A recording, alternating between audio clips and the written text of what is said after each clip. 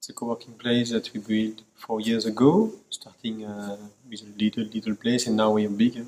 We started using Loomio because it was open source, um, so in our philosophy, and uh, we wanted a project that we can adapt to our own own problems, and we know that in open source it's possible. People have really uh, one way to think about decision because of the electoral system, for example.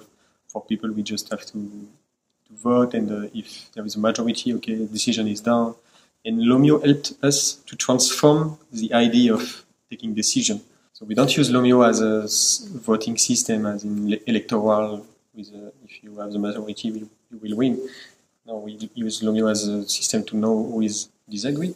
We start a process of discussion to get a consensus. And now we know how to make decision. That's the first point. Because before we didn't know if someone is not agree or we do. Now we know, and it's in Loomio and anyone can adapt and adjust this decision process with the Loomio tools.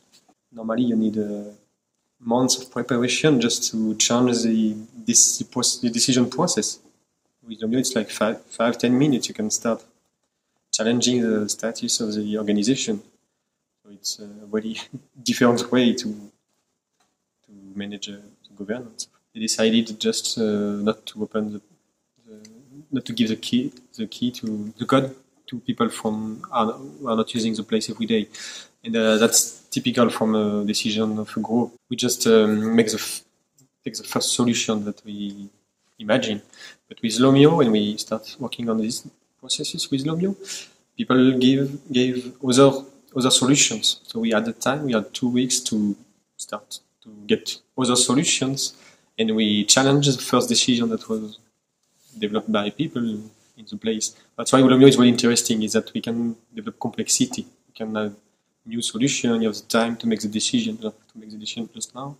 So we had new solution to give the code also to people from from the exterior, from the who are not using it every day. If it's really open, people converge and uh, develop the place together most of people using using it are also contributing to the place, the working place. So now it's not a big difficulty to manage a place. I think that we want to show is that it's possible to manage commons together, and uh, that it's working.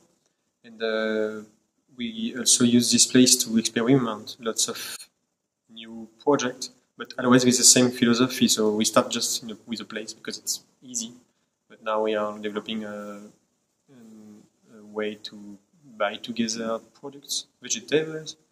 Uh, we has, we developed a kitchen together, so each each day we cook together.